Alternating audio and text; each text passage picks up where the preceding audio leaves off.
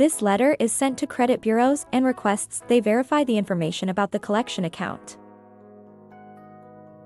It also requests that the credit bureau remove specific kinds of inquiries and place a promotional suppression on your credit file. Pro tip.